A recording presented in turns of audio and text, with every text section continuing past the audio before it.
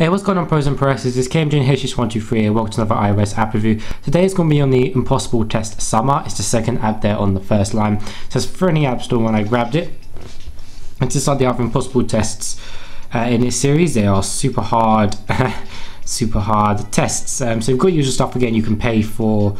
Uh, no ads and extra achievements and all the other stuff. But we're just going to go straight into play um, and there isn't extra modes in this summer one. Um, so which theme isn't in this game? Snow. Touching lemon ingredients. One lemon, three packs of sugar, two cups of water. Available 1, 2, 3, 4, 5, 6, 7, 8, 9, 10, 11, 12, 13, 14, 15, 16, 17, 18, 19. Touch the left flip flop. Remember these flavors. MVCC. Oh my god. MVCCM. What? Okay, that I tapped that way too fast. We'll try that again, guys, just to show, like I said, the app is really simple. All you're doing is just trying to get past impossible test. It will take you a few tries. So it's that, that, 1, 2, 3, 4, 5, 6, 7, 8, 9, 10, 11, 12, 13, 14, 15, 16, 17.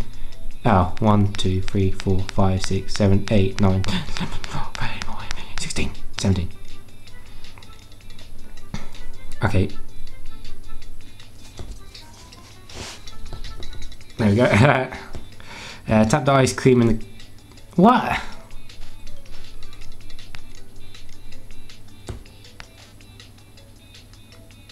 Mint. Oh crap, what was it? It was mint. A what? Okay, I give up, guys. Uh, you guys see how far you can get. Like I said, these impossible tests are really worth checking out because they will turn you schizoid when you keep playing on the same run. But thank you for watching, guys, and I'll see you later.